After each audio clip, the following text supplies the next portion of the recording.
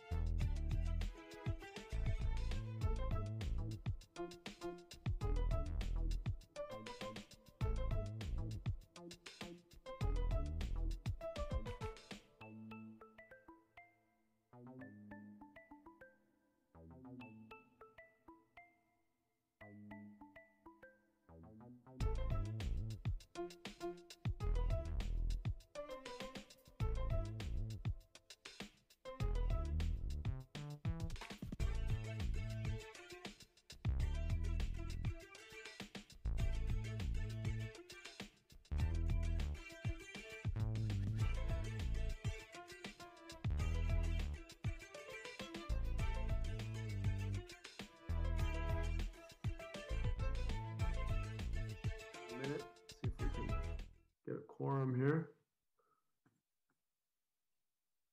I like punctuality. Yeah, appreciate that.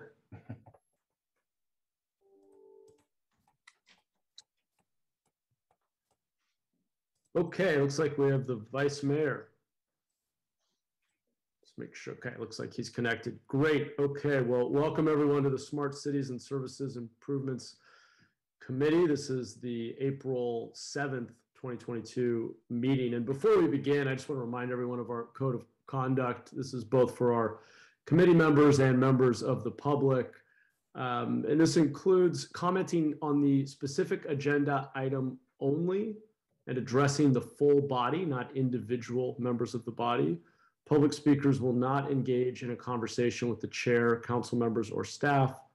All members of the committee, staff, and public are expected to refrain from abusive language. Repeated failure to comply with the code of conduct, which will disturb, disrupt, or impede the orderly conduct of this meeting, may result in removal from the meeting. Okay, the meeting of the Smart Cities and Services Improvements Committee will now come to order. Can the clerk please call the roll? Liccardo, Jones, Present. Foley, Cohen, Here. Mahan. Here. Thank you. Thank you. And just a small reminder here that um, the committee deferred the lease and asset management system status report on the work plan to this meeting from, from March. So we just moved that back a month and we will hear that today. Otherwise, I, I don't believe there are any changes that I need to comment on. Rod, did you want to uh, give us a quick overview of what we'll be covering today? Yes, Chair. Uh, so good afternoon, Chairperson Mahan, uh, Mayor Liccardo, Vice Mayor Jones, committee members, and members of the public.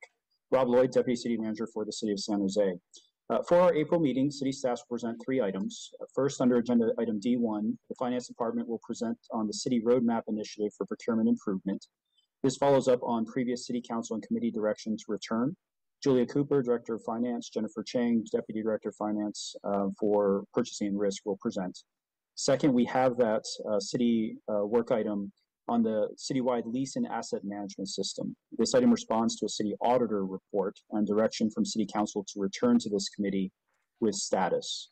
Nancy Klein, Director of the Office of Economic Development and Cultural Affairs, as well as Kevin Ice, Real Estate Manager, uh, Division Manager from her team, and Sudhir Vangati, uh, an IT Products Projects Manager for us in the IT department, will present on that item. And then last, uh, we have D3, which is a, a cross-departmental team updating the committee on the city's data initiatives leading to impact and equity efforts.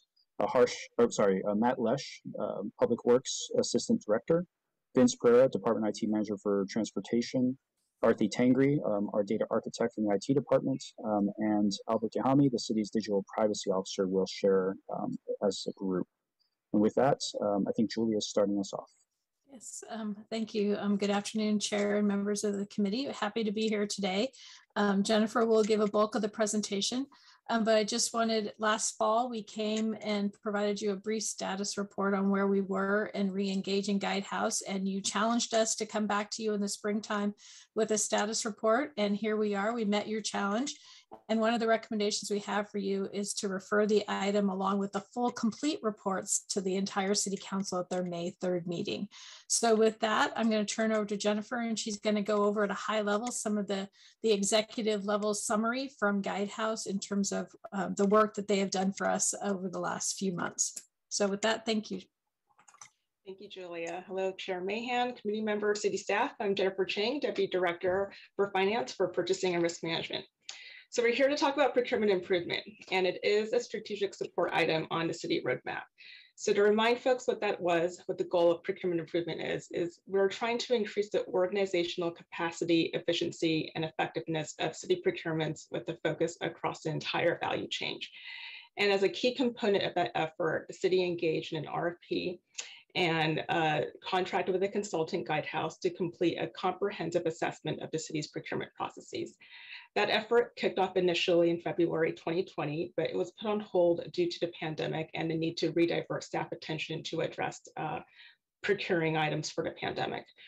We officially re-kicked off that effort in October 2022, and this presentation, as Julia said, is going to provide you an executive summary of Guidehouse's observations and key recommendations.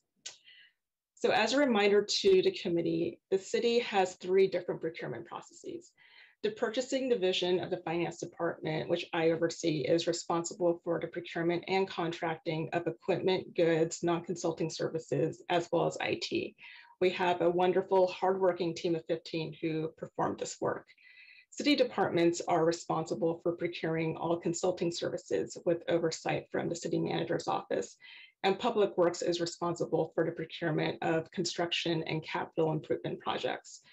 So the scope of Guidehouse's work was initially focused on just finance-led procurements, but after having identified potential efficiencies and collaborative audit recommendations with the city manager's office, we later expanded to include department-led consulting procurements here. So Guidehouse's approach was to initially conduct 76 interviews with city staff to do a detailed assessment of the city's procurement processes and to understand challenges. Guidehouse has also provided data from city staff. They use that data to, con to conduct analysis and compared um, our procurements to best and leading practices nationwide. So as a result of those efforts, Guidehouse produced a current state report that captured and documented key issues in the city's procurements. So this slide here provides a fishbone diagram of the key themes uncovered from that assessment. So the turquoise dot here represents department-led procurements and the marigold dot represents finance-led procurements. And you can see they bucketed these themes into five major categories. Under people, Guidehouse identified that there is a lack of long-term investment in staffing. There's high turnover and there is a desire for better customer education, onboarding and training in our procurement processes. Um, with regards to process, our purchasing processes are generally not well understood. Um, with regards to our decentralized consulting procurements, they lack a mechanism to ensure compliance with city policies, and a lot of departments are doing procurements in disparate ways. Under technology, Guidehouse found that our financial management system, FMS, which is over 30 years old, is effective, but it's outdated. They did find that our e-procurement system, Biddingo, does the job, but there is a desire for some training from some city staff. For some procurements and contract requests, there's a desire from staff to more easily view status updates, know when there's something in their report that they have to do. And we don't currently have systems out that allow folks to submit, automate, and track those requests. And by extension, we don't currently have technology that allows us to easily automate and track key performance indicators. How we uh, pull that data right now is very manual. With regards to policies, Guidehouse found that some policies are difficult to implement, such as the three quotes uh, informal procurement process. It's difficult to implement these policies in a way that ensures compliance. And across the board, staff expressed that the current competitive procurement threshold of $10,000 is too low. Backlog, purchasing staff has a significant procurement backlog. It was exacerbated from the pandemic, and it does hamper our ability to procure needed goods and services in a timely manner for departments. So Guidehouse conducted five visioning sessions after this with city leadership and key stakeholders to envision the future of procurement at the city. Guidehouse used that feedback and the current state assessment to help us develop a salient mission statement and future state recommendations. So the mission statement we came up with is, as stewards of public funds, the city of San Jose facilitates a transparent, competitive process that responsibly equitably and efficiently procures goods and services at the best value for the city. And at some future date, we would love to get to a point where we are decreasing procurement processing times. Uh, city staff is getting the support they need to uh, action their procurements, that we are developing a vendor pool that represents the diversity of our residents and our businesses, that we continue to act as stewards of public funds by ensuring, you know, our, our, our, our tax dollars are spent in a responsible manner. And critically, the future state envisions that purchasing has a seat at the table in the city's roadmap planning and other large scale initiatives so that we can be a strategic partner at the forefront. Also in the future, these are the various roles that we aspire all of our purchasing stakeholders to play. So in the future, purchasing staff is appropriately staffed and supported. The city manager's office is in a position where they are setting the strategic direction for procurement within the city. City departments are getting what they need in a timely manner. Vendors are, we're attracting a wide breadth of vendors that represents our diversity and that they're participating in our procurements in a transparent and fair way. And that we are using those procurements to deliver excellent services to our residents. So on to the recommendations. So Guidehouse categorized its recommendations into five major pillars. We've got technology, training, procurement streamlining, procurement consistency, and staffing. And each of these pillars represents a key component of developing and refining our procurements. The categories laid out here are in ascending order of importance. And so we'll go through each one at a high level in the subsequent slides. This is the executive summary for technology. And you'll see with these slides that the Guidehouse divides recommendations in, with each pillar into three, um, three categories, quick wins, things they feel that are achievable within one year, medium term, things they think that are achievable within one to two years, and long term, two to five years. So some of the key highlights for technology, they're recommending that we spend some time cleaning our data. We have some systems that are um, producing different types of data. We're not quite sure why. Um, developing dashboards using our existing tools to automate and track KPIs where we can. And uh, leveraging SharePoint more to centralize purchasing documentation for city departments. Um, another recommendation is using process automation technologies to change how we collect and work with departments on their procurement and contract requests. And long term, that is eventually replace our financial management system, FMS. So finance agrees with all this. Uh, we have included in this year's budget process placeholder funds for technology. On training, they are recommending a redesign of the purchasing intranet site so that it is focused on providing training to with a customer focused uh, uh, customer customer focused um, um, focus. So right now, right, the purchasing website has a lot of information on it, but it's not really easy for somebody who's new at the city to quickly understand how they need to procure things and how to do that in a compliant way.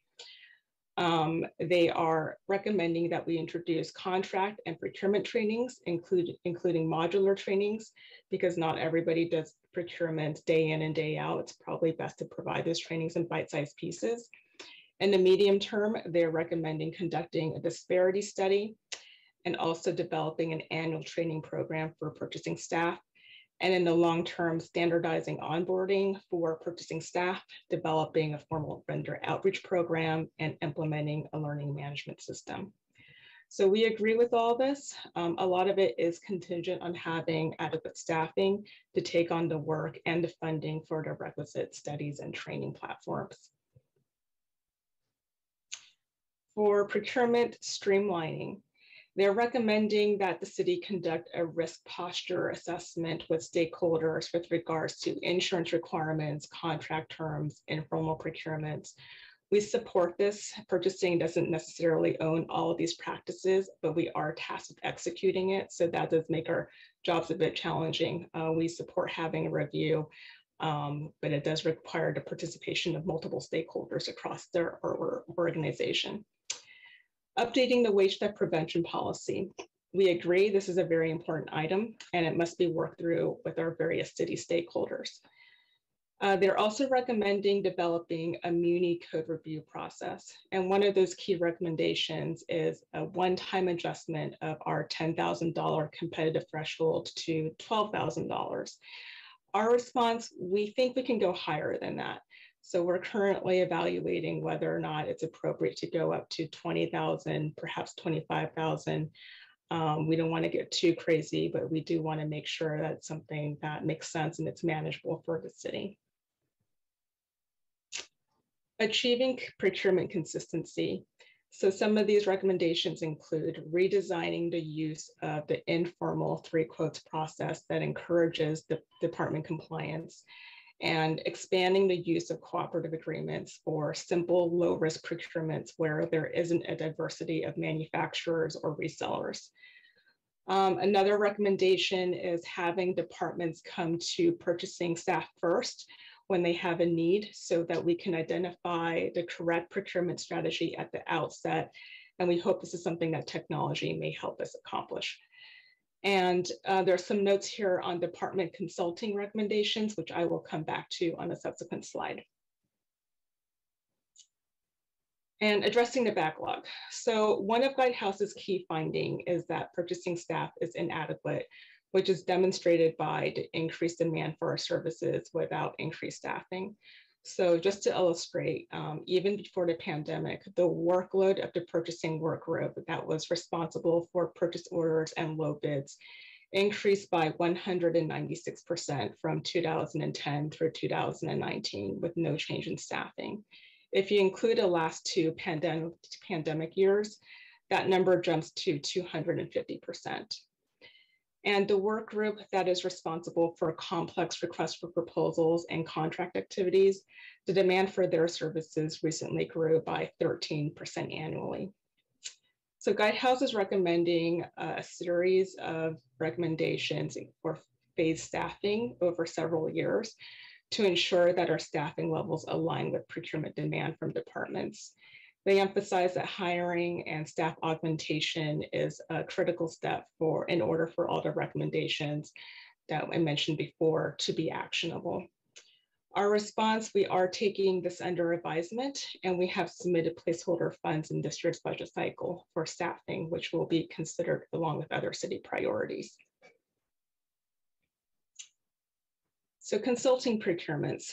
One of the key highlights from Guidehouse is that they are recommending more purchasing oversight over department-led consulting procurements with eventual centralization of department, uh, department procurements to purchasing over a five-year period. So this recommendation is under consideration. We're not sure that a fully centralized model is optimal for our city. We do agree that finance purchasing staff is best positioned to train, provide advice, and mitigate risk on department-led procurements. But if we think that if finance was staffed in a way where we can provide training, consultative advice to departments, that may be enough for us to achieve the desired improvements we want to see without having to go to a fully centralized model. We think that 80-20 rule could be very effective here and full centralization may not be necessary. So this is something that we will evaluate as we consider how to implement. And this is the last slide.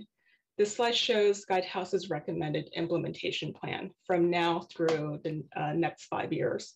So as you can see, Guidehouse left implementation fairly open-ended because a lot of this is contingent on city decisions on staffing investments, reorganizations, uh, policy and practice decisions, things of that nature. And the ability to action these recommendations is, again, contingent on sufficient staffing, funding, and importantly, long-term institutional buy-in.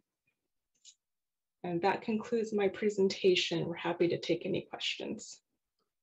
Thank you, Jennifer, and, and thank you, Julia, and, and the entire team. We will head over to public comment before the committee weighs in. And when we're ready here, great. We'll start with call-in user number one.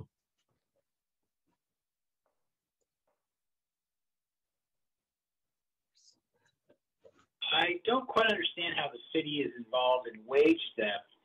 Uh, any type of wage theft or wage problem, you get to go to the state. Um, I don't know how it's a city problem unless it, these are, from what I can maybe gather, that it's a city contract and, and the people who are contracted are ripping off the workers or whatever. But anybody listening who's ever had wage theft, there is the state of California industrial relations uh, industrial relations office uh, in downtown San Jose, I believe on Paseo de San Antonio, not far from City Hall, maybe a few blocks.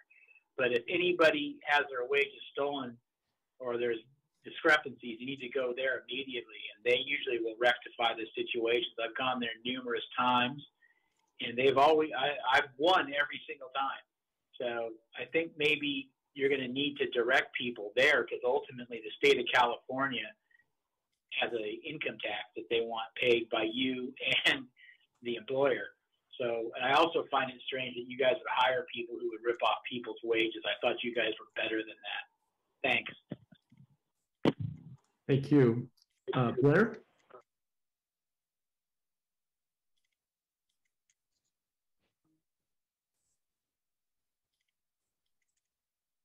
Blair, you are still muted. There you go.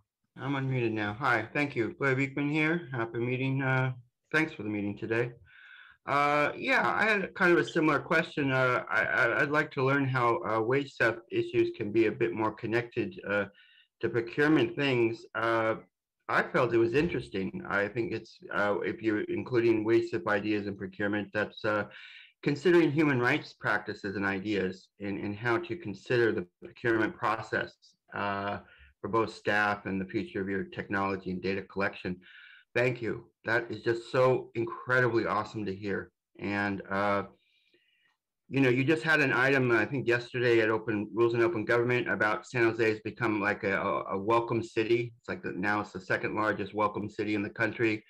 There's good sanctuary city policy practices to develop the future of procurement uh, based on those ideals is an important concept and, and learning to, to want to practice our better ideals and offer that when when vetting people for for work and for data collection practices uh, that's really important stuff. It's it, it's really it, it's it's our better human rights selves and, and better persons that uh, that to put that out front instead of leave it leaving it coolly in the back uh, that's i think uh, we're trying to learn how to do that and it takes humbleness and practice.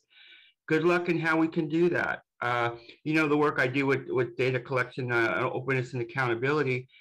You know with the procurement of technology we're at a place with the beginning procurement of technology. We can ask better for you know civil rights and civil protection ideals within the procurement process. I know you're trying to do that with your ai stuff uh, civil protection ideas uh, good luck on really growing that right now. We are at a time to do this, and you're speaking of it really well today. Thank you. Great, thank you. Let's come back to the committee. See if my colleagues have any comments or questions. Otherwise, okay, great, Vice Mayor. Thank you, Chair. And uh, Rob, uh, you know, whenever I see centralization and decentralization, you know, you know where I'm going, right? Can you um, if we don't standardize these processes and, and, decentralize and let the various departments kind of do their own thing, doesn't isn't that counterproductive to what you're trying to, to accomplish? Yeah, um, council member, this is this is Julia Cooper, Director of Finance. I think the issue on the on the centralization versus decentralization is really core around the conversation of consulting services which right now is highly decentralized for um, and across the organization. With respect to the procurement work that Jennifer does, that that still remains highly centralized, and we don't we don't propose any change there. So so we kind of want to look at the some of the guidehouse recommendations and kind of gra- you know kind of implement some of those and see where we might get to what I like to call the sweet spot before we ultimately think about 100% centralization with the realization that a lot of departments and their consulting services you know are highly technical things that they're trying to to procure and that maybe we don't need to staff up to that full level to get to centralization but we can have the right resources and purchasing to help them through their procurement processes in a more efficient way So, so that's the only area where we're, we're grappling with the centralization versus decentralization concept. Right, and, and I get it, and, and it really is about the process. I understand that each department has subject matter experts and they're the ones that are most knowledgeable about the requirements. But there should be some standardization in terms of the process that they go through. Yes, and, and, and that's what we believe um, that we can bring to the table and help departments with that process and just trying to and work towards that and and see how much we can improve the internal process regarding uh, consulting services. Great. Thank you, Julia. That was it, Chair.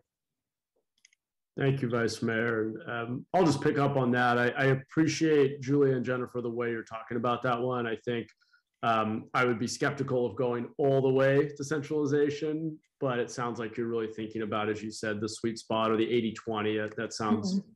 that makes a lot of sense to me. So I just appreciate that you're being very deliberate in how you're thinking about that. I, I also appreciated the, the mission statement. I did, I did have a few questions. Um, one is, and this is sort of high level and maybe a bit pie in the sky, but um, are, are, there types of purchases or agreements or licenses or or think about it a different way, steps in a, a standard process? I understand every uh, RFP is, is unique, but is there a class of purchases, purchasing decisions we make, or a step in the process that's more universal where we might be able to pool our evaluation with other agencies? And I, and I know that sounds crazy, but um, it just strikes me that across the country, there's something on the order of 100,000 governments and government agencies. Uh, I think it's almost 80,000 municipalities. And it, it does seem kind of crazy to me that we have all these governments sort of operating in a silo performing very similar functions and services but running their own procurement processes. And so i don't know if we've ever explored partnering with the county or other entities on any of these particular classes of, of procurement but um, is that that's something we've considered? Is that at all possible? Thank you for the question chair. So um, we can maybe look at strategies where it makes sense. We I could say that we have done uh, procurements where we have partnered with other agencies. Rob, um, your cybersecurity RFP is case in point. That was a seven package um, RFP, very complex, and um, we structure that RFP so that other agencies can uh, directly benefit from results of the RFP, and they actually participated in that RFP as evaluation uh, panel members, I believe. Um, another area where we've actually done that was with, with regards to the affordable housing portal. Um, that was something where the housing department ended up partnering, I believe with San Mateo County and another local agency on seeing um, whether or not we could achieve efficiencies in um, our contract dealings with the select vendor. So it, it's kind of I would say it's kind of a, a, procurement by procurement basis. It kind of just depends on the need and whether or not there are some existing relationships that the departments, uh, customer departments have with other agencies. But that's certainly um, areas where you know we're happy to explore if it makes sense. And, and Jennifer, don't you also look for collaborative uh, procurements where you can essentially join in like office supplies, right?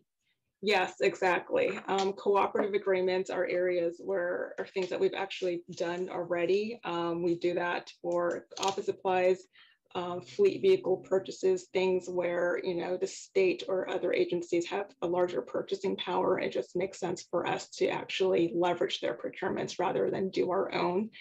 Um, and we want to through through this procurement improvement process probably put out better guidelines for departments so they better understand when it's appropriate to use or not use cooperative procurements. Yeah, thanks for that context. And I, I was familiar with the two examples you gave, but they, they still felt kind of, as, as you, I think, said, Jennifer, kind of individual, sort of a bespoke arrangement, sort of like, okay, for this one time, this one, this one project. I think I was thinking more about the latter category of collaborative procurement where we're sort of um, drafting off of somebody else's work, or maybe some other agency wants to draft off of the, the analysis and evaluation that we're doing. Obviously, every organization has unique needs, but to the extent possible, I mean, a lot of the technology and equipment we purchase, I'm sure, is very, very similar to what other cities and counties are doing. So, is, do you see a, any scalability or greater systemization there that, that we could do or building on that collaborative model that you mentioned?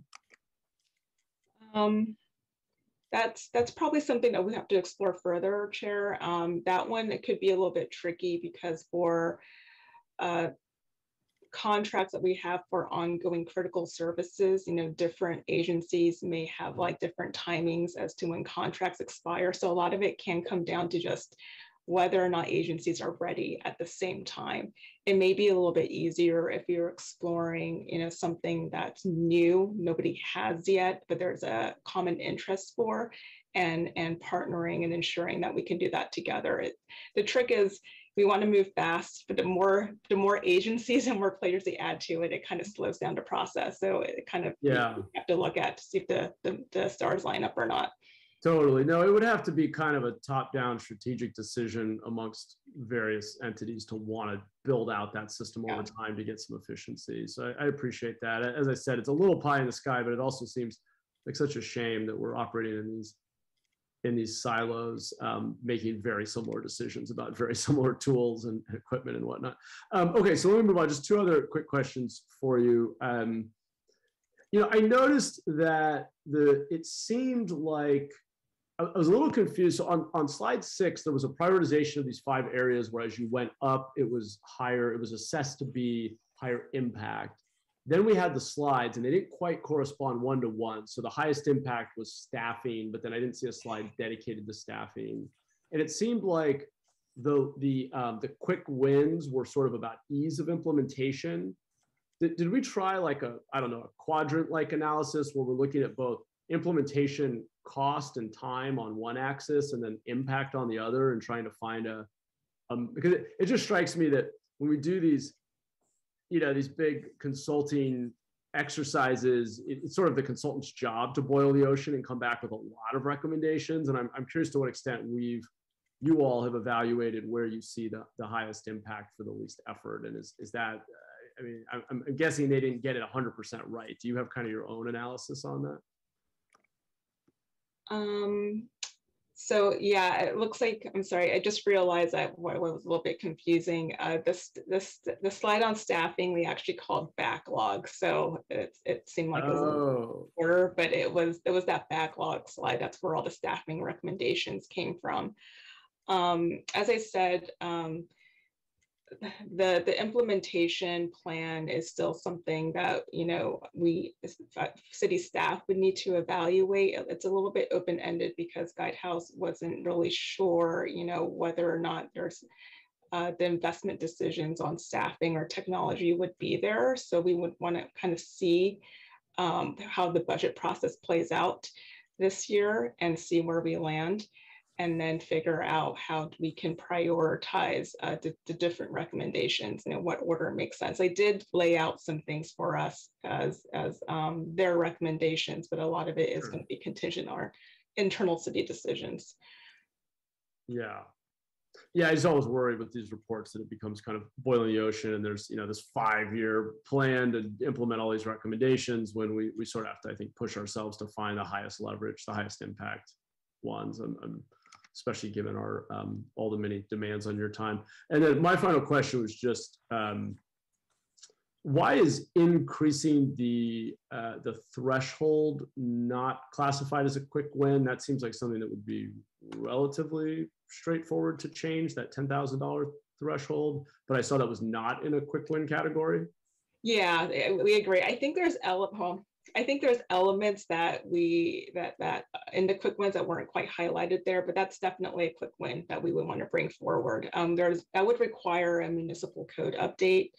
And so what we're thinking is um, we can look into the areas where it makes sense to bring forward a council for consideration. We might want to do that in a phased process and we might not have all the recommendations ready but uh, something like changing the procurement threshold would probably be, you know, uh, will be sooner than later, I would say. Okay, cool. Okay, great. I will hand it off to Councilmember Cohen, who I hope will also consider making a motion when he wraps up. Uh, sure. Um, just just to follow up on on collaborative agreements.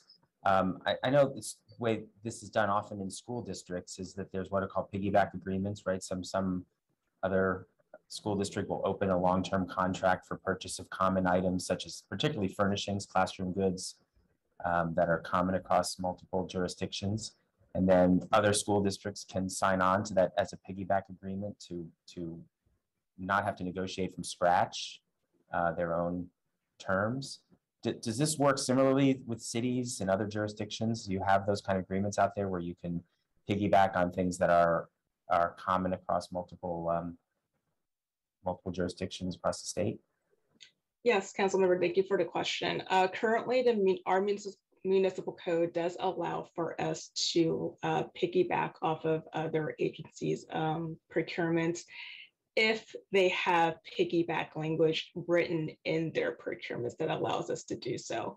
That's the key. Sometimes um, they don't have the language at all, which means we cannot use it. Other times the language is actually in their contract documents, which is incredibly frustrating, which means we can't use it. So that's also a recommendation I like to bring forward is that if piggyback language is in contract documents, we would like the ability to leverage it. Um, but the situation right now as it stands, um, the, the piggyback language has to be in the other agencies' uh, procurements, and sometimes they just don't have it. Um, I can say that our staff several years ago added that language to all of our standard procurements. So other agencies are uh, they're they're able to leverage our procurements if their own municipal code or county code or whatever allows for it. So um, we are seeking ways where we could be a little more flexible if the opportunity arises.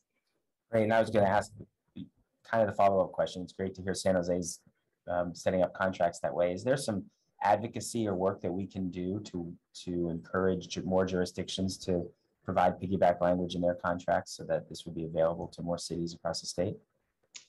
Um, I'm not sure about that, but um, I can maybe look into it. We could see what the California um, Organization of Procurement Professionals might do, you know, or look at other various professional organizations, but I can't think of a, a, a direct avenue where we might be able to advocate for that short of, you know, just networking and going through some professional organization, but we could certainly keep that in mind. Yeah, that seems like a good avenue for that, talking to others in other cities and at least getting them aware and making more people uh, thought thinking of that as they as they sign their contracts. Um, and it's a conversation I think we can have maybe with other city officials as we interact with them. But anyway, I appreciate that, and I'll move we accept the report. Second, Great, thank you. And in addition to accepting the report, we are referring to full council in May. Is that correct? So moved. Thank you. Great, let's vote. Jones, aye. Cohen, Aye. Mahan. Aye. Thank Great. you. Thank you. Thanks again, Jennifer and Julia. Appreciate it. And we will move on to our second item, which is the status report on the lease and asset management system. Uh, Rob, did you have any other prefatory comments or should we go straight to Nancy? Straight to Nancy. All right. Hi, Nancy. Welcome. Howdy, thank you so very much. We're very excited to be here with you. Um, this is a topic that real estate and IT and finance procurement have been talking about for quite some time. We really are eager to get a lease and asset management system in place one for real estate so that we can serve the community even better by having uh, an at ready touch system to let us know where uh, we could provide uses or real estate asset for the, the betterment of the community. And two, we have had a number of uh, discussions with other departments so that we could, as a team, look at and understand our classes of assets and look to better anticipating maintenance across categories of assets. So, so that is the work that we believe, uh, we know that this management system will allow us. And with that, I'll turn this over to Kevin, who will describe in more detail what real estate and the other departments are engaged in. Uh, Nancy, uh, that would be me going next, uh, and then Kevin. Uh, so did- sorry, My apologies. N- n- th- Thank you. Thank you, Nancy. Uh, Thank you, and thank you, Rob. Uh, uh, Good afternoon, uh, Chairperson Mahan, uh, Vice Mayor Jones, members of the committee, and members of the public. I am Sudhir Bagati, Products Projects Manager in the C3PO Division of uh, Information Technology. Uh, The agenda for today's presentation is uh, we'll have a quick introduction of the team members who are actively involved in driving this initiative. Then we'll move on to defining the primary role and responsibilities of the real estate division, which is part of the Office of Economic Development and uh, Cultural office. And but this is pertaining specifically to managing real estate uh, transactions, property management, and research. Next, we'll briefly cover the findings and the recommendations by the Office of City Auditor to better manage the city's real estate assets. The next steps on the action item slide is going to outline the process on procuring the database platform in collaboration with the finance team. And the last item is the Q&A session. So this project is led by the following staff members. Nancy Klein, uh, a Director of Economic Development and Cultural Affairs, uh, and Director of Real Estate from OED. Uh, Kevin Ice, Real Estate Manager, Yan Bui, Senior Executive Analyst, both from Office of Economic Development. Rosalynn Hughey and Rob Lloyd are providing leadership and expertise on this initiative. key stakeholders. So the real estate division collaborated with client departments throughout the city to identify key data sets and programs that needs to be tracked and synced with the new database. The key stakeholders in this project are Walter Lin and Harsh Gautam from Public Works, Nolan Bertuca and Lisa Valerio from Parks, Recreation, and Neighborhood Services, Rick Bruno and Pedro Romero from Finance, Rachel Vanderveen from Housing, Rick Scott and Jennifer Seguin from Department of Transportation, and Ray Riordan from Emergency Operations Center. And with that, I turn it over to Kevin. Thank you, Sudhir. Uh, hi, I'm Kevin Ice, uh, manage the Real Estate Services Division in the Office of Economic Development and Cultural Services. Our division oversees real estate transactions for the city, uh, including fee or the whole property uh, and easement, uh, both for acquisitions and dispositions. We oversee property leasing, both as tenant and landlord for the city, and manage our program of macro telecommunication leasing for wireless communication facilities. We perform these functions on behalf of the city and our partner departments, managing projects to address the needs of departments citywide. We also help coordinate property management functions, and we generally serve as the first point of contact to address real estate related inquiries for partner departments and elected officials. A lot of our work is focused on coordinating with other departments who will all interact with the city's real estate in different ways. Our role as a central hub for the city's real estate management has highlighted to us how an integrated data management system would benefit not just our division, but staff across all departments that use or manage real estate on behalf of the city. And City, if you could go to the next slide, please. So last year, Real Estate Services uh, was audited and a common theme emerged from the recommendations. Four of the six recommendations are shown here, and they relate to the fragmented nature of the city's real estate data. And related to that, the city's property management operations. The audit highlighted the extent to which our real estate data are siloed amongst different departments. For real estate services, navigating this landscape is a challenge that creates inefficiencies. Grabbing onto this theme in the real estate audit, we realized that our desire and efforts to implement a new, more comprehensive real estate and property management database would be a foundational step in addressing, in addressing these ma management challenges. The City Council approved the City Auditor's recommendations in June 2021 and directed us to coordinate with different city departments. Our discussions with partner departments have revealed that they're experiencing similar challenges and share our desire to have a more cohesive database that allows for better coordination amongst staff in managing the city's real property assets. Uh, so with that, I'll turn it over to Yen Bui, uh, who is a senior executive analyst on the real estate services team. Uh, Yen is our project manager for this software uh, implementation and will run through an outline of the software program that we're preparing to source and implement.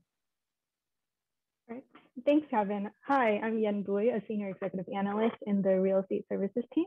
So to address the city auditor's recommendations, we're looking to procure an off-the-shelf software that will interface and integrate with programs currently used by stakeholder departments.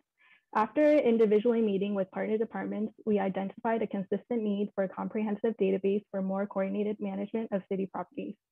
Real estate and partner departments are primarily using Excel spreadsheets and layers on the citywide geographic information system to track property information and key features. Each department has its own spreadsheet and database, causing information to be siloed.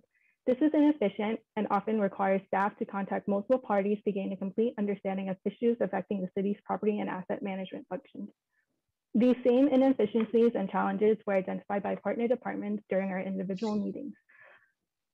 A comprehensive database for more coordinated management of city properties would allow city staff to have a clear picture of property information in one place and to ultimately make better informed decisions more efficiently.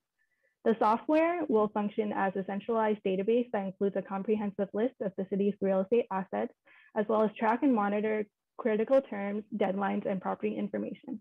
The software should provide notifications for key deadlines, such as the lease expiration and renewal dates.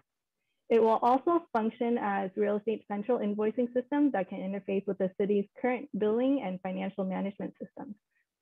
It will ideally help real estate automate billing services to efficiently manage and track payments and auto calculate fees for past due tenants. The software should also have the capability to deliver real-time analytics. Users should be able to customize financial reports for quick and flexible analyses to support decision-making. The ideal system will offer scalable solutions to meet the city's uh, growing real estate demand including property management and the ability to add additional users going forward. The system would potentially allow tenants to submit payments and maintenance requests through an online platform, which would allow the team to efficiently track and request track requests and allocate resources. Um, next slide, please. Next steps uh, for this project, the Procurement Prioritization Board approved this project on February 22nd of this year. We are currently priority number seven in purchasing procurement queue. Once purchasing assigns a buyer to the project, we'll work with it, we'll work with them to finalize and publish the RFP and evaluate responses to select and onboard the vendor. Once the vendor is onboarded, the team will work to complete the build out with optimal standardization of data across city departments, which would allow for more efficient management of the city's real estate assets and comply with the city auditors and council's recommendations. Our target date to go live is in December of this year. IT and real estate also recommend supplementing the project team with a data analyst expert to help coordinate data standardization across city departments. Um, in conclusion, IT and real estate will work with purchasing to procure the software. The software will serve as a centralized database that will house consolidated lease, property, and other real estate related information in a standardized manner allowing information to be easily accessible to departments citywide so staff can be more efficient and better coordinated when managing the city's real property assets. We'll return to this committee to provide a status report um, when the project has significant progress to report. That concludes our presentation. We're now available for any questions. Thank you. Great, thanks so much, Jan, and, and thank you also to Kevin Sudhir and Nancy um, uh, looks very promising and uh, looks like a pretty efficient procurement process as well, which is exciting. Okay, let's jump over to public comment. Call in user two, you are up. You are still muted. There you go. Yeah, no comment. I'm good. Okay, thank you. Uh, Blair. Hi, thank you. Uh, just to reiterate my, my words from the previous item and just basically the incredible work you're doing on the previous item. Uh, with, with this item, good luck in, it wasn't some mention, but it would just be interesting to know what exactly could be, uh, you know, good human right, rights practices in the procurement process of, of, of this sort of uh, hey, Blair, just on topic, work. please. Uh-huh. Well, I'm trying to make a very specific point that what exactly can be the human rights uh, that can be added to the future of procurement of, of real estate uh, uh, assessment management uh, things. Does that include ELI or VLI? Or what other uh, human rights tools can we use? uh, again, uh, yeah, the open public policies uh, and, and accountability ideas that are that are possible with technology right now. Good luck, uh, and civil protections ideas. Good luck in how you can uh, include that into this sort of item. Thank you. Thank you, Blair. Okay, let's go back to the committee. Do we have any hands?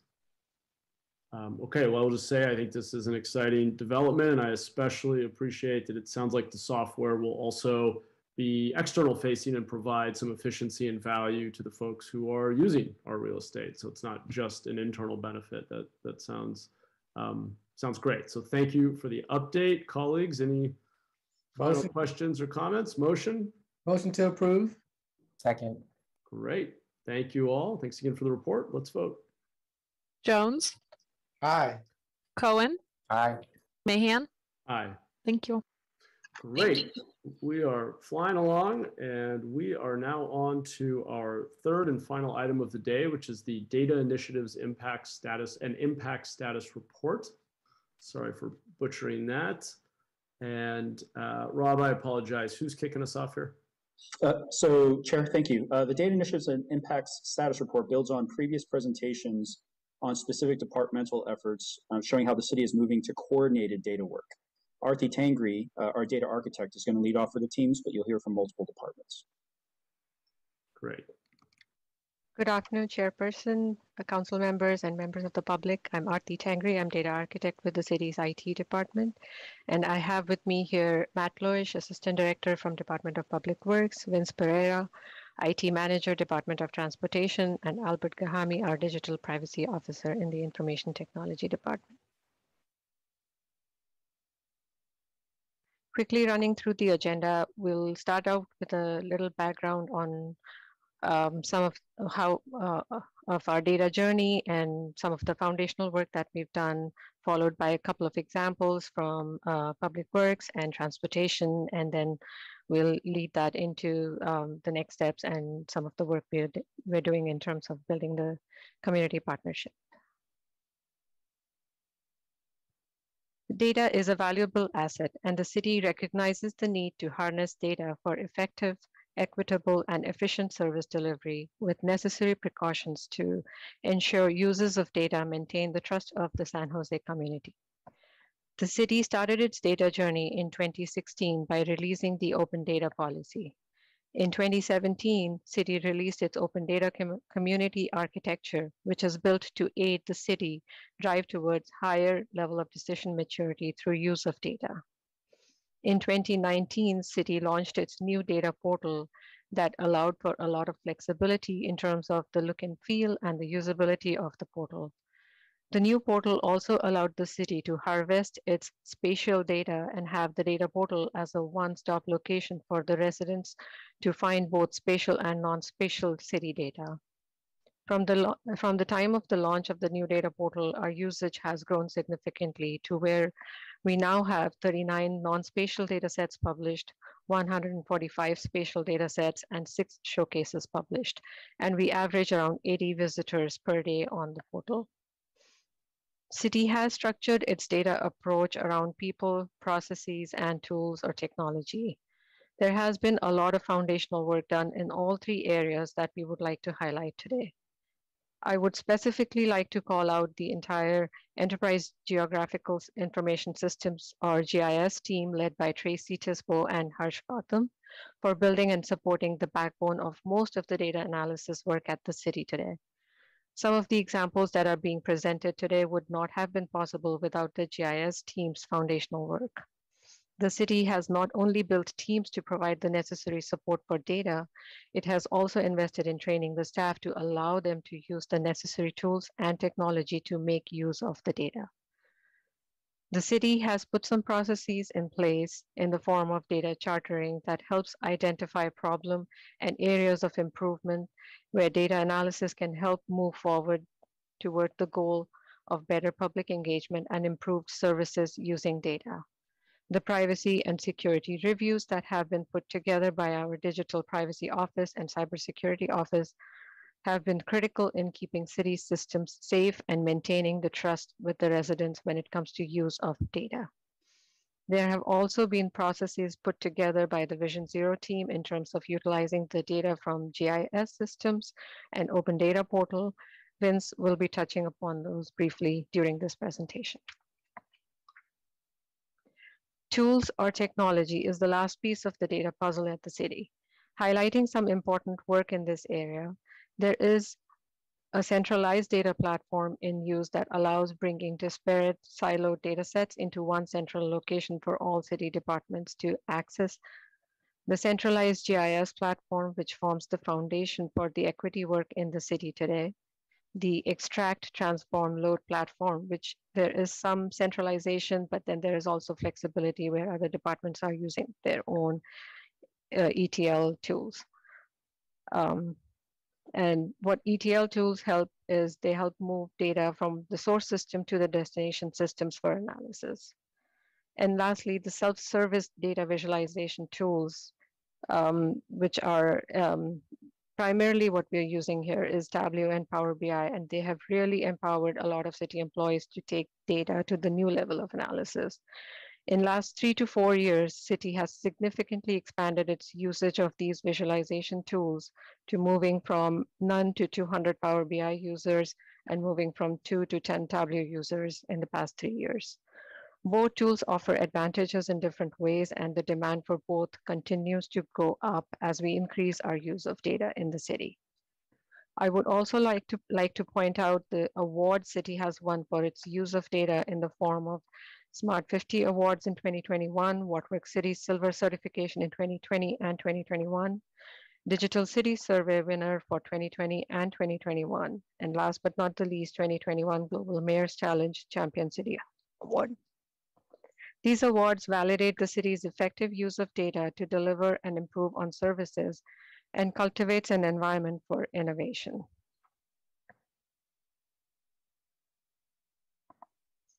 There has been an increased focus in the city on increasing resident engagement through data by means of showcases published on city's open data portal.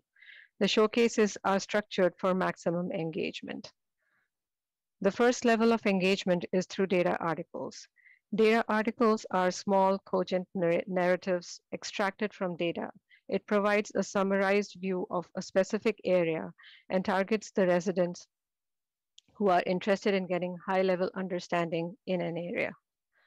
For a deeper level of understanding, there are data stories. Data stories are detailed and thorough analyses of data created by an expert. It is a combination of narratives and visualizations that details out the methods, approach, and challenges of the analysis that was conducted. Data stories are targeted towards audiences that are functional experts in an area and can greatly benefit from the detailed analysis of data. The last and most detailed level is the raw data itself. Data in its raw form is very useful for data analysts, researchers, data scientists, and other deep data experts who are interested in working with data directly and possibly combining it with other data sets for analysis. Through data, the city is enabling high-end technical users to bring a different meaning to city's data. Uh, moving forward with the presentation, uh, we'll be covering four main areas, uh, leading with some examples and the next steps. Um, the four areas we're covering improved, improving city services, measuring community impact, supporting equity, and building community partnerships. With that, I will let Matt take on. Good afternoon, everyone. I want to thank Aarti for her kind words about the Enterprise GIS platform and the team. I am Matt Loesch, Assistant Public Works Director and Head of GIS for the city, um, and especially noting Harsh Gautam and Tracy Tisbo for their uh, steadfast work of really leading the technology back end and the forward thinking approach to what we're doing here. Can we go to the next slide, please? On this, so for the better part of a decade, decade, Public Works has focused with our partner departments who have data responsibilities on building an enterprise spatial data repository that has nearly 900 data sets that are maintained in a regularized format that can be consumed through our Esri platform and, and used broadly throughout the organization. These provide quality and consistent information to the city and to the public. This focus is now shifting because so much of that data work is now, and we're just kind of data stewards and kind of keeping that up as things pivot and change. We're from shifting to integration, analytics, and the use of data to support our decision making throughout the organization. We sort of have a one-two punch approach here, and one using the ETL tools that, like Aarti mentioned, with an idea of the common vernacular of low code, no code approach, so that there isn't a lot of coding required to access this to provide, to perform automated integrations. And we're also try, we're also adopting flexible industry standard tool sets for visualization on the spatial side with ArcGIS and Tableau for non-spatial plus spatial data sets. Next slide, please. You've seen some of this before or in, in snippets of other presentations. Um, here you see what we're, which is named uh, San Jose Equity Atlas, and it's in a beta format. This thing is mimicking a uh, City of San Antonio product at the request of the Office of Racial Equity. This map shows an equity index data set simple score, uh, it's a simple score assigned based on race and or income to a, a, census tract. The color shading displays a heat map of census tracts that have a higher proportion of people of color and of low income. This, ha this has been available for departments uh, for the last two budget preparation cycles as a reference platform. This, is, this can be one way for departments to be data driven in reviewing our investments and our services. Next slide, please. Staff built so in uh, throughout uh, the towards the end of of the, our COVID response and a lot of our work around vaccinations, we built for the EOC uh, a COVID-19 dashboard to allow the EOC uh, vaccination task force to be data driven in their evaluation of uh, where vaccination sites are needed. This is an internal map to inform decisions where mobile vaccination clinics deployment might be great or to aid public communications. Um, the index, it is index based on COVID-19 cases, vaccinations, and various demographic data sets. This refreshes automatically as data is updated, aligning with county data, um, with the data repository data as we're our data repository and the county data pulling into one source. Uh, one point of challenge in building this is the county reported all of their data by zip codes for a while, or some of them by zip codes for a while until late. And so our demographics reported through the Census Bureau is reported by tracts, they don't align. And so we had to come up with ways to present it. And luckily towards the end, we convinced them to be reporting it by census tracts so that it would be much easier for these um, visualizations to be available for our staff. Next slide, please. A first view at one of our Tableau dashboards that's being used as an internal fuel dashboard that refreshes hourly um, that's providing information on all of our fueling assets that our fleet uh, systems maintain that are in various sites around the city. Um, some of the locations not disclosed here. It has locations, tank capacities, current fuel levels, and thresholds. Those red lines are telling our our uh, fuel managers when they need to be ordering fuel and, and at what rate. And so we have, a, this is a one-stop shop here where they can look at all of the various fuel tanks to see what is the status of the different diesel or li other liquid fuels. Um, previously, staff literally would have to go to papers and sketch out in pencils and track fuels by going to the tanks themselves through the different platforms. It's prone to error, delays, losing the paper, sweaty palms, whatever. And so it was really, this is a much easier way. And this is really critical during our EOC or DOC activations, where we now have this data represented here for fueling operations, basically, but then we also can pull this into other EOC type dashboards. We can see in real time fueling levels throughout the, uh, throughout the city. Next slide, please on this and then the next, this is um, in connection with our ACS, Animal Care and Services. One is an operational tool and the next one is a planning and policy tool. Uh, so really for operational purposes, and I think I've shown this once before, this is for our animal care and services dispatch team. They use this map to see active incidents locations so they can assign the nearest field officer members um, based on proximity. It saves times, increases capacity to make sure we're not wasting staff by having them drive around, get them closest to the most urgent incident. But then also gives our field officers access in the field in their trucks for situational awareness because there are situations where we do have uh, dangerous dogs that are known or other potential dangerous situations where they can then see this in real time in relation to the current call. Next slide. And so where the other one was operational, real, what, what are we doing right now? This is meant to be available for our staff to be for planning and for policy use so that it shows active calls going back to 2018 so they can see them where they are, build up heat maps, really analyze the data. And this is used by for the office staff to review call volumes, identify patterns, and evaluate program decisions to see are they making a difference over time or not in the particular areas they're trying to hit. For example, like where are most stray intake calls coming from and or where do we focus outreach uh, resources to address a particular problem with strays or, or the like. Next slide, please. And so this will be a series of three slide of five slides that you'll see here. And this is really hot off the presses. It was just released to staff for operational use in about, about the last month. And as you know, uh, 311 uh, continues to gain traction and is a, a, vital, important city service. This dashboard provides pro program managers with access to call data in multiple types of view.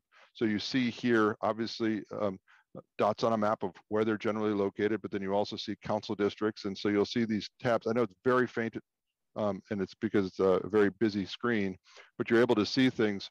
Oh, if you go back to the beginning of that, I'm sorry, you skipped ahead a little bit. I think that's the beginning one.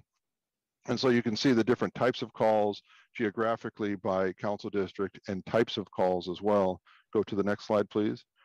Um, this is where you can select either on the right or in the map itself. This is selecting Council District 3. I know you can't see it very well, but this is Council District 3. And the chart and all of the things in the filters, as they select it, all filter accordingly as you select it in real time. Uh, go to the next slide, please. Now, if you remember back when I presented before, for the first time, we've created a city neighborhood map. And this now leverages the neighborhoods that are throughout the city, not just the council districts. And so this does the same exact thing as the council district, again, a just different geographic space, but then also has some additional unique feature that I'll talk about in just a moment. Go to the next screen, please. And so this is now by census tract, same information, now census tract, neighborhoods, but both of these have census filters that provides demographics as a hover over in the map feature that can show for uh, use of analysis and to tailor community outreach, 311 mailings to predominant languages and the like. So you can hover over it and get the underlying demographics both on the census tract and at the neighborhood layer. So both all of those are embedded on the left side. And, and the final one, please. One more, please. There we go.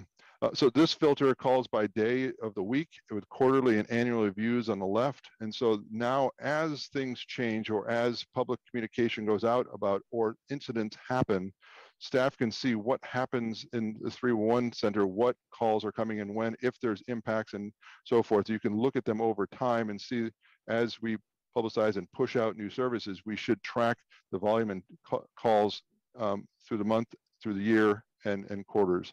Um, I'll hand it off now to Vince. Thanks.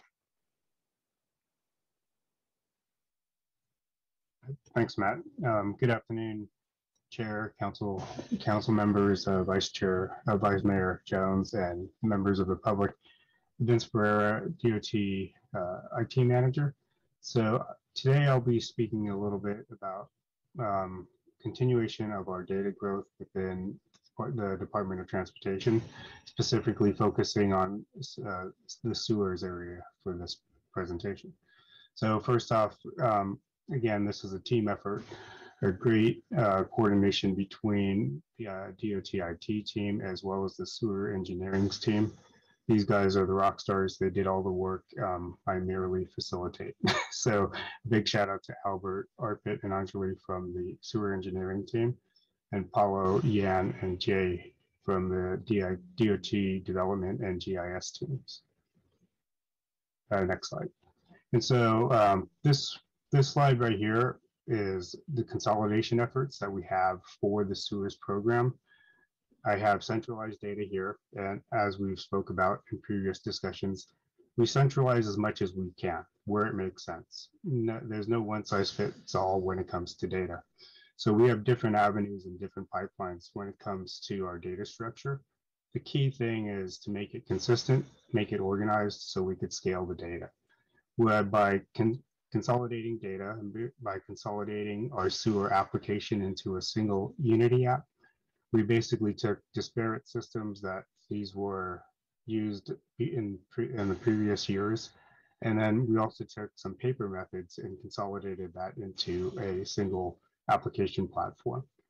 by consolidating the application and centralizing the data, it allows us to be organized, structured, and we could scale. The key thing is, is laying the foundation so we could scale vertically and horizontally.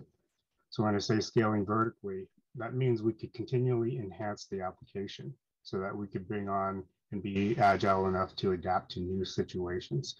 By scaling horizontally, it's being able to be structured so that we could integrate other applications into our application and vice versa. We could take our data, data sets and move it into other use cases as well, not only for DOT, but hopefully throughout the whole city. So by doing this, we basically have uh, centralized and captured all of our applications and data into a single source of truth now. And that's going to give us more accurate and consistent reporting and analytics going forward. The next slide, please. So just some brief impacts, primarily internally and then indirectly as we go through time, as time goes on, this is going to uh, hopefully benefit the residents as well. So through our sewer systems, we have both proactive and corrective active measures. So from the proactive measure, uh, uh, measurements that we have in place and the workflows we have in place, that's going to optimize the complete system from end to end so that uh, all the all the workers, all the crews from dispatch all the way to the closure of a, a ticket or a service request is done in a single system.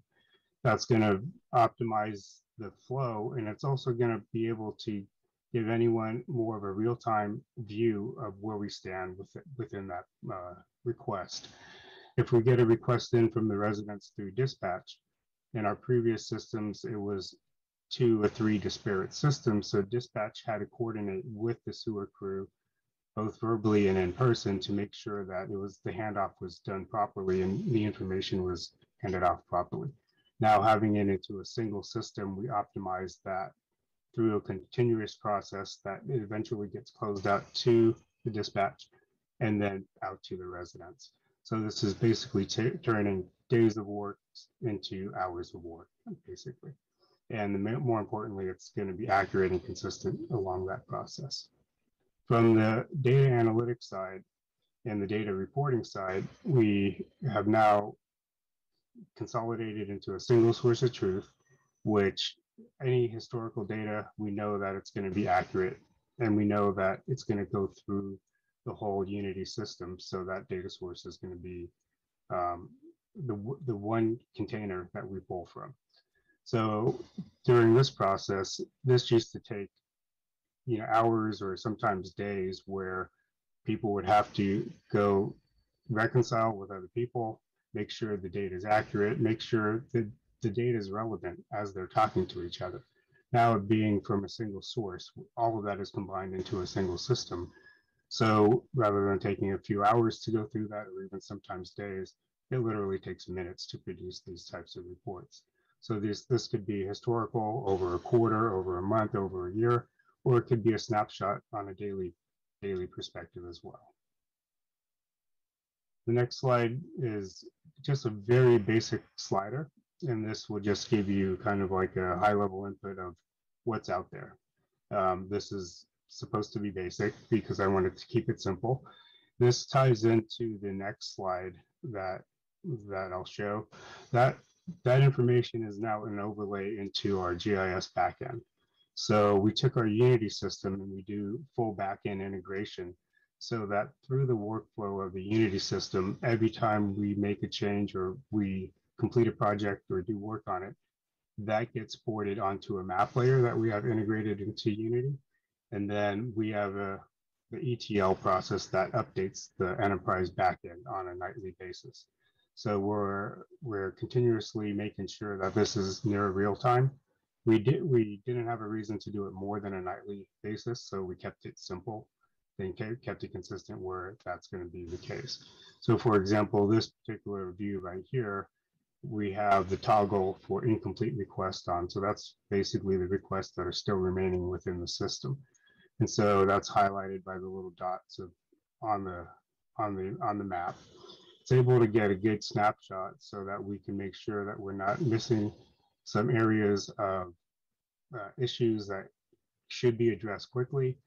Um, any equitable issues where we're making making sure we service all the different areas in the right fashion and concentrating and giving them the right time and effort with that place. So by taking the data and overlaying it into the map system, that's giving us a visual view where we could run reports from a historical place a point of view, but then the crew could also narrow it down to a daily point of view so that they know how to best optimize their workload so that they could address the, the work at hand for that particular day, for that particular week. So there's two folds with that. So that's the consolidation of our sewer systems. Again, we have one more app that we're developing right now, and then that's going to complete the, the development for sewers. Taking paper, taking disparate systems and consolidating it into a single source of data and a single application. And then for the next uh, presentation, probably in a month or two, I'll be talking about more of the advanced analytics that we're doing. All of the analytics that I spoke about today, we run through Power BI through the backend, and it's more of a human manual intervention where we're analyzing the data um, in, in the visualization view, and then we're, we're coming up with analysis based on that. The advanced analytics are things that we're doing around planning and Vision Zero. That's taken our data sources and we're partnering with UrbanLogiq. And we actually have pipelines that feed our data. And that's why it's so crucial that it's structured and organized. We push it into their data platform. And what their data platform does for us, it basically takes our SMEs talking to their data scientists. And with our knowledge, we're giving them the, the information that they need to make algorithms that could actually go through the system. And that's where we get to using machine language and artificial intelligence. That point, that's taking the advanced analytics part of it. And that's going to be non-human intervention where that could the system could do predictions and it could be doing modeling so that we could constantly improve on our services.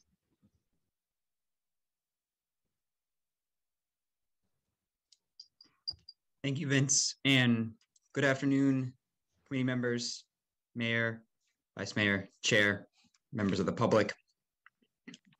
My name is Albert Gehami. I'm our digital privacy officer.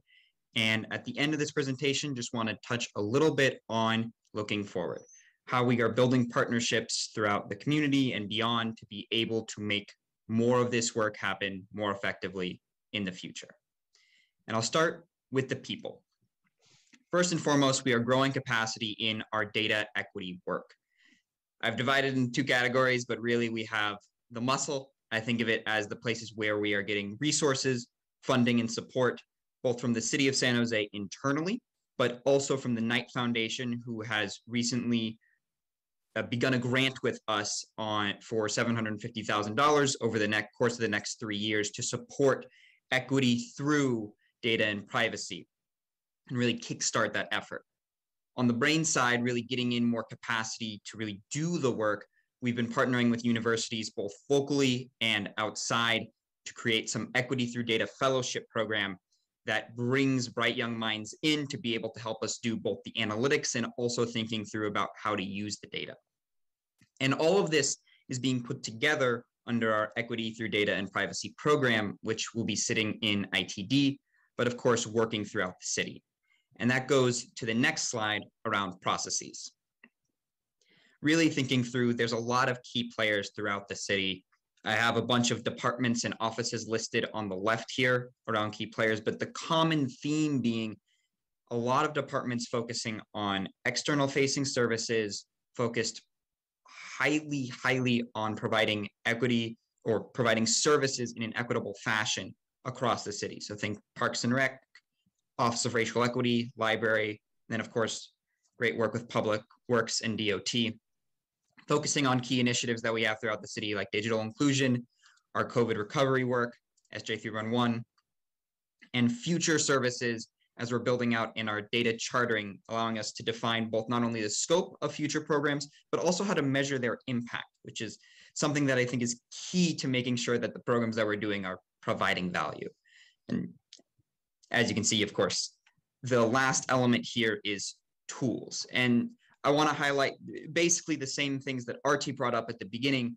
There's three main analytical tools that we've been using throughout the city for this type of work, those being Power BI for many static um, and you know graphs, things like that, ArcGIS for much more spatial analytics, and recently we've been using Tableau, which provides more of a merging of the two, really being able to see both the non-spatial and spatial data in one to create uh, some additional interactive dashboards.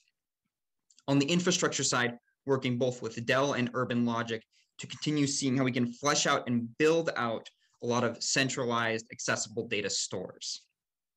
And all of this goes to the last slide that really I just want to highlight a, a brief example um, from some of the work that the Mayor's Office of Technology and Innovation did with our DataKind ambassadors and a city data equity fellow, Joyce Hu from, uh, from Stanford University to just highlight that there is work happening today and has been for a couple of years now, at least, on comparing services that the city is providing with the equity throughout the city. And what we want to do moving forward, both with the partnerships, the additional resources, and the focus throughout many departments here in the city is more views like this, understanding both from, in this case, an income equity, but also, of course, a racial equity perspective. How are our services being provided, and can we improve them in the places that need them most? That's all I have for you today. That's um, I'm sure the rest of the team is also available for questions. Thank you so much for your time and happy to respond. Great.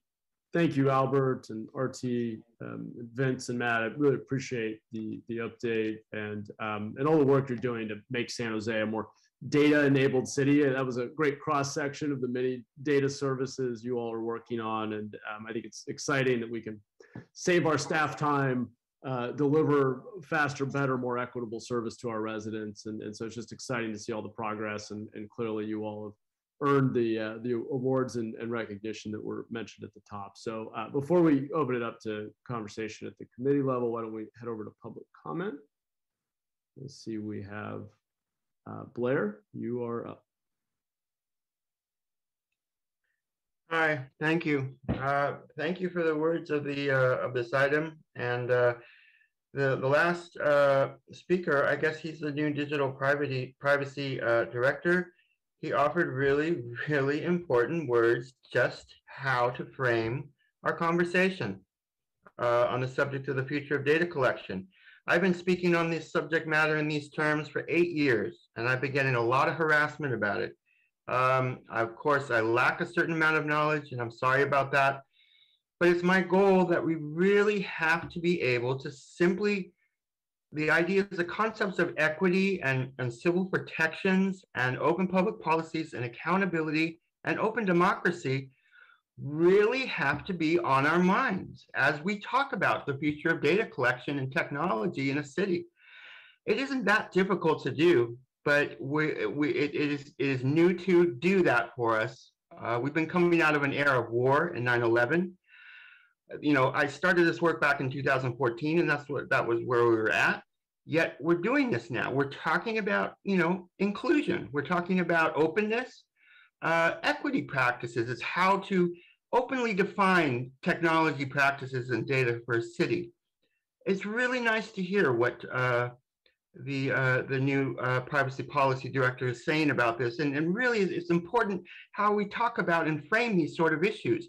For instance, we have a whole new set of, of AI statistics and data collection we've been talking about working on this past fall. How is that going? And, and to simply frame that in terms of open public policies and civil protections, um, I, I, it just creates an awesome way uh, how to consider ourselves and, and really offers the ideas of innovation. So thank you for what you're working on with these things. Consider sanctuary city ideas as policy making as well. Thank you. Thank you. Call in user two.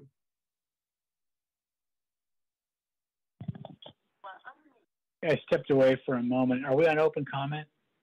Uh, not yet. We're on our third item. Oh, okay. Uh, thank you. I'll, I'll be back for open comment. Thanks.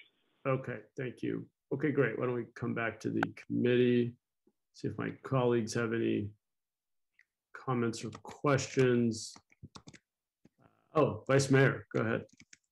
Yes, it's not a question, but first of all, I want to thank um, the team for that report. Um, I want to reminisce a little bit. Uh, I remember in the early days of the this committee when we had that dream of having um, the ability to take all the massive amounts of data that we were accumulating and actually doing something with it. And just to see how we progressed is, is very impressive. So I want to commend the team for all the hard work and in moving this forward, um, particularly around uh, incorporating AI. Um, I, I had the vision, and I know the mayor and the other committee members had the, the vision of being able to take disparate data and bring it together in like a data lake and use that data to make you know informed decisions and it sounds like we're progressing uh, to that direction and that goal so again great job and i will make the motion to accept staff's report Great. Do we have a second? Second. Thank you, Councilmember. Thanks, Vice Mayor. Mayor? I just want to echo uh, everything that Vice Mayor Jones said. I just plus one him. Uh, it really is tremendous how much progress has been made. I appreciate everyone's hard work and leadership uh, on this.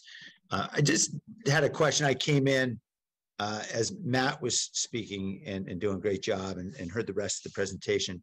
Um, I'm interested in knowing to what extent we believe uh, there's still um, value in us emphasizing uh, ensuring we can have an open data portal that has much of this uh, very rich data available and that that robust data lake is available for others to be able to use to, to draw their own insights um, and sort of what we are are not able to do about that given our constraint of resources. Uh, if you want me to take that, uh, Rob, I'll jump on. Thanks, Mayor, for the, qu- the question. Um, at the very beginning of the presentation, Aarti did talk about the Oh, I'm sorry. open data, no, it's okay. uh, The Forgive open me. data portal and in the access.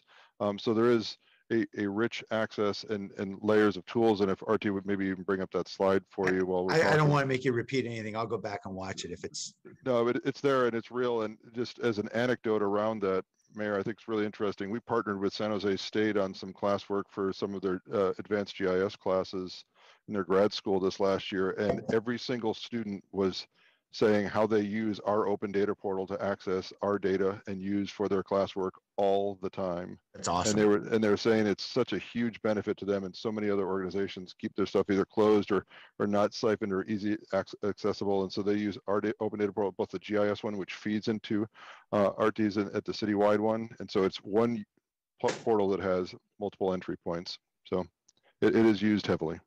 That's awesome. Great. Thank you. And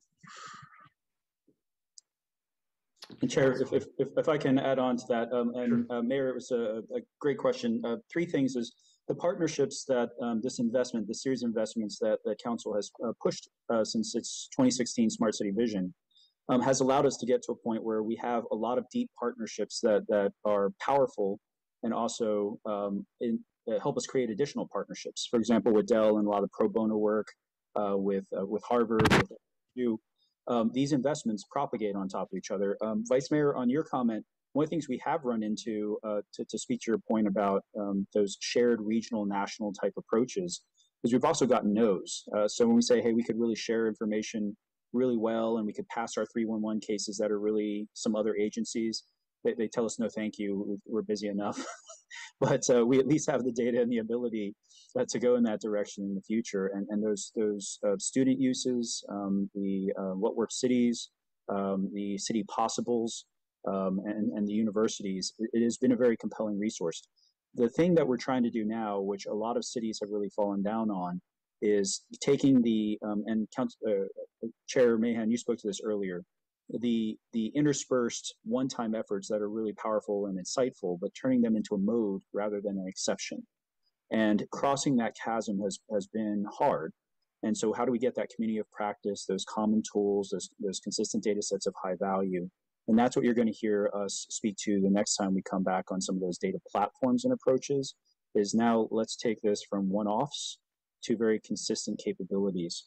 And then um, on equity, you'll also hear us um, connect this uh, across all of your comments. Uh, we're teaming up in the COVID recovery um, data and budget committee to then support those committees, those seven working committees, on what measures they're tracking for that so that we can provide the data um, and the sourcing and the dashboards that they can say, is our work having the impact that we want? So going from inputs, outputs to actual impacts. Um, and, and we'll see how successful we are there, but our hope is to then come back to you with really compelling work where we translated um, some information, a great community of practice into something that really helped the organization and the community succeed. Thanks, Rob. I think that's helpful context. Just before we vote, uh, Matt, I, I, really appreciated the point you made about transitioning. Uh, I'll probably butcher this, but basically from creating the data systems to then moving to greater analytics and more informed decision making. And, and I think the vice mayor was making this point and that we're making progress in that direction. And I was trying to think about how we up level that for the whole organization. Um, have, have you found one, one function I was thinking of that could be really impacted by the data science you're doing would be the audit function. And I'm curious if our data sets have, have yet, if we found ways of leading to and either kind of generating suggestions for things we may want to audit and more deeply understand discrepancies we didn't expect or just you know data that doesn't seem right to us for some reason or in the other direction the auditor coming to you and being able to say hey, we're trying to better understand what's going on here. Can, you know, is there is there a connective tissue yet between these systems you're building and these new analytical capabilities and, and our audit or our auditor's office? Uh, Chair, thank you for the question. Uh, there is um, definitively the auditor's office and almost every audit pulls in some sort of our GIS or spatial data and then uses other tools or possibly our, our GI our Esri platforms for some of the non-spatial data as well. Um, they are keen on being up to date. We train them and help them with um, either dashboards or views of the data um, all the time. It's, it's a very frequent collaboration with our team. Um, so yes, to the first question though, are we using it to do predictive audits or like using that? I don't think we're there yet. Um, and I think there are areas that maybe as they're doing the audit, it spurns an idea that helps them dig in a different place um, than they were initially thinking. So I, I don't think we're there yet to find the audit initial question, but maybe in in the digging through the data, ideas or issues pop up that they then dig there, dig in specific places as a result of using the data. Sure. Great. Okay. Thanks for that. Well, thanks again for the for all the great work um, you and the team are doing. And not seeing any other hands, I think we're ready to vote. Liccardo. Aye. Jones. Aye. Cohen. Aye. Mahan. Aye. Thank you. Great. Thank you all. That completes the agenda and we are on to open forum. We will start with call-in user two.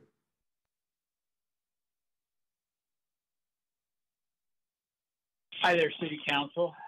Pretty disappointed in you guys all the time, especially with these this new uh, speed camera thing. You guys went and lobbied up in Sacramento. Real crafty, real crafty how you're going to do that. Yeah, and then you want more traffic cops, right? Just what we need. I don't know if you remember back in the 80s, this city gave more traffic tickets than any city in the entire nation. Remember this? Hopefully, you guys got some back then before you were city council members. I really do. I hope every single one of you gets one now that you're going to try to install these speed cameras and increase TEU. You guys can't even say the word traffic enforcement because why? It sounds terrible, right? TEU, there's no uh, no word, so you don't think about traffic enforcement or traffic cop, right? So you guys are terrible. If this passes with this illegal speed camera, right? It's illegal every place else in, in the state, but no, you're going to make it legal here. Okay, that that's low. That's really really low. And what's going to happen to your constituents when they start getting tickets that don't have the money to buy things? buy food, buy gas.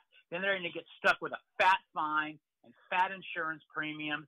According to Raul Peralez, he wants to make it hurt. I'm never going to forget him saying that. He wants to make it hurt. You know, you're talking thousands and thousands of dollars. That one minor speeding ticket could cause somebody uh, a lot, a lot of financial loss. And there's no victim. They're driving 10 miles over the speed limit down the street when there's nobody on it. You guys are crazy. if you guys have all these traffic cops and these speed cameras, I hope all your friends, all your family, and including yourselves, tickets and insurance rates go up.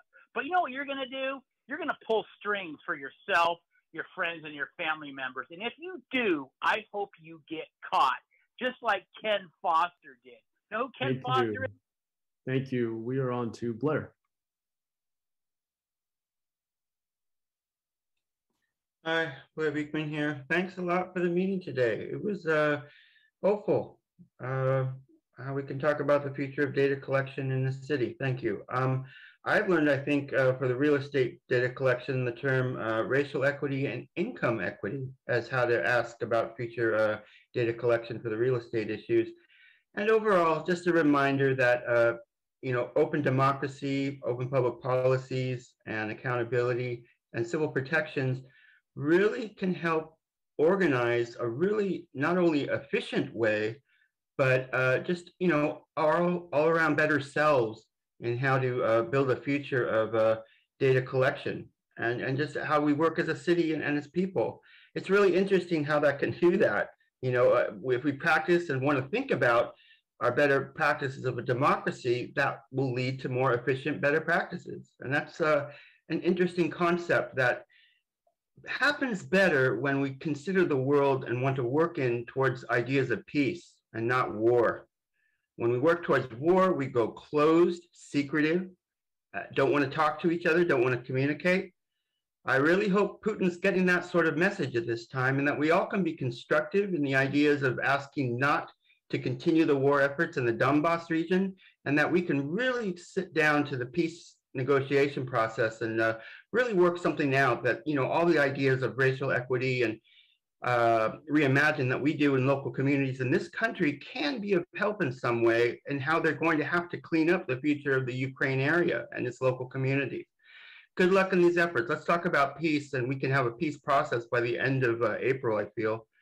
Uh, not more war. We can end more war. And uh, good luck in how we can all talk about the future of, of uh, policing issues and what has happened in the past week. We have good uh, source to all work together at this time. Thank you. Thank you. Okay, everybody, enjoy the unusually warm weather. This meeting is adjourned.